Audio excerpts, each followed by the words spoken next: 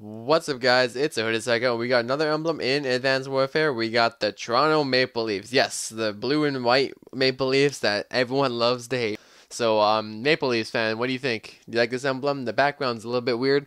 I tried a lot of different things to look the background make uh, look better, but this is what I settled on. Uh, you guys can you know decide what you think is looks the best. But uh, if you want to see more emblems in the future, give me some love, and I'll see you next time. Peace.